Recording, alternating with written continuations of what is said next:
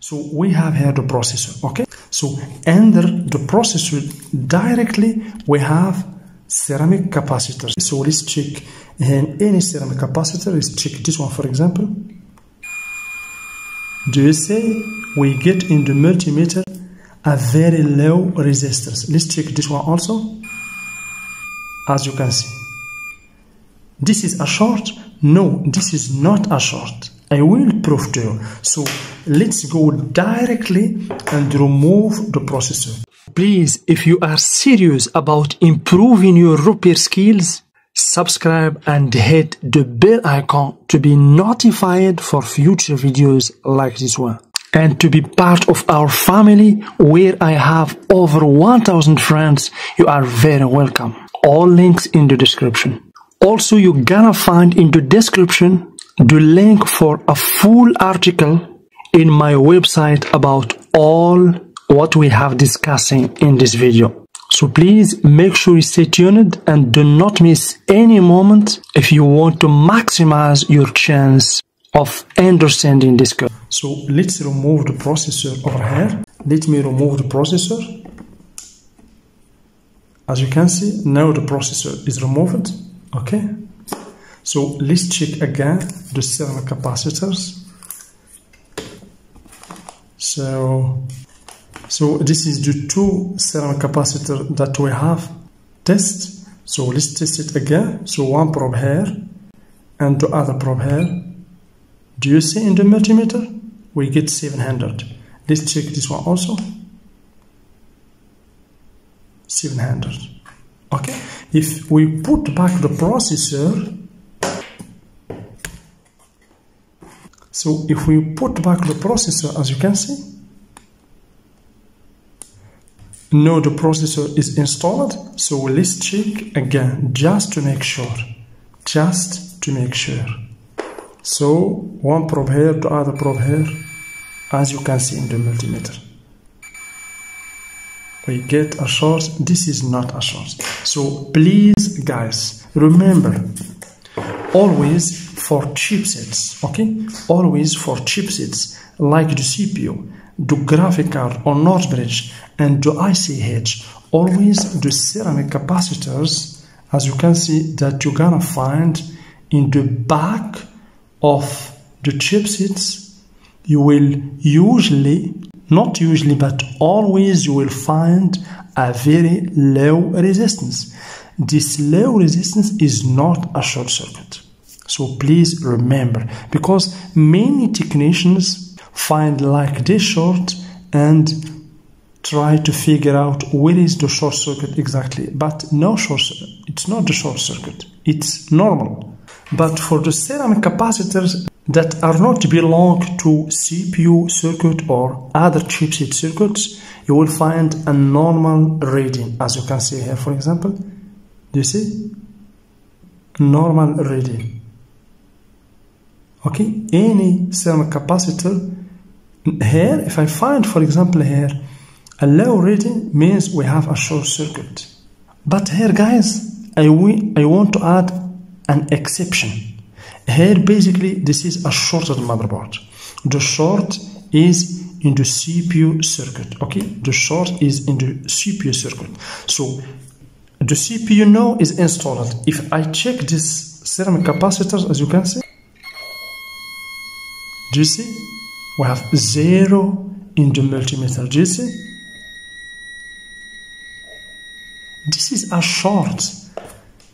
Let's check this one also. Do you see? We have zero in the multimeter. Means this is a short. Okay? So let's remove the CPU. If we check even this big capacitor, the tantalum capacitors, we can find also a short circuit. Let's check it. Do you see? We have zero in the multimeter. Means here we have a short circuit.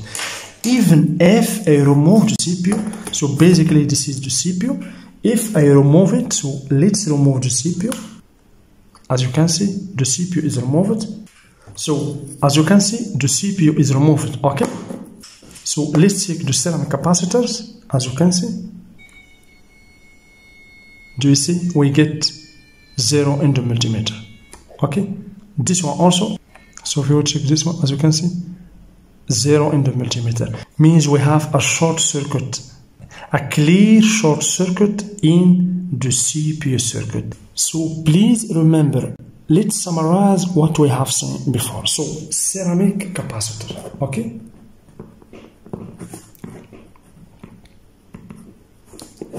okay so the symbol for the ceramic capacitor is this one okay? It's not polarized capacitor. This is basically the ceramic capacitor. But for electrolytic okay capacitor its symbol is as you can see this. We have here plus okay? Or you can find also this symbol this also means minus okay? So to test the ceramic capacitors you can use the continuity option in the multimeter. And you should find a reading that is higher or equal 60 we can see ohm in the multimeter. If you find a 60 ohm in the multimeter means the ceramic capacitor okay is good. But in the CPU as you can see circuit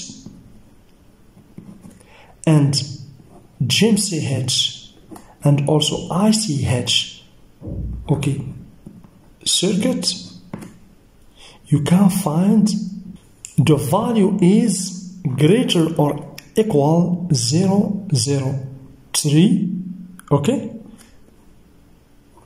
And 30 ohm okay? So if you find 003 or 004 or even sometimes 002 it's okay. It's not a short circuit.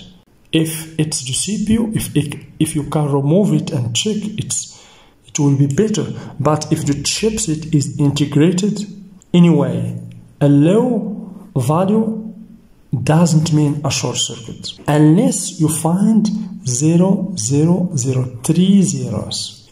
If you find three zeros means automatically you have a short circuit. Then we have seen that if you find for example a ceramic capacitor a bad ceramic capacitor this is for example you find this bad ceramic capacitor.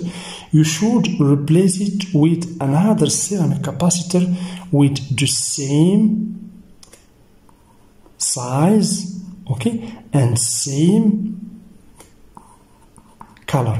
Same size and same color. Because above the ceramic capacitors you cannot find the value unless you have the schematic. If you have the schematic then you can find the value of ceramic capacitor. This is an example as you can see over here. This is a ceramic capacitor. We have the schematic. Here we have 4.7 microfarad, 25 volt. Okay, as you can see. And for this one we have 10 microfarad, 25 volt. So if you have the schematic as you can see, you can find the value of any component you want. So guys, thank you very much. I hope that you understand this video. Please don't forget to like, share and subscribe and join me in my Patreon page for more unique content, download schematics and more. And also you can visit my website for more articles about hardware repair, troubleshooting dead motherboards, no power motherboards, no data motherboards, tips and tricks, etc. Thank you very much and see you in the next video.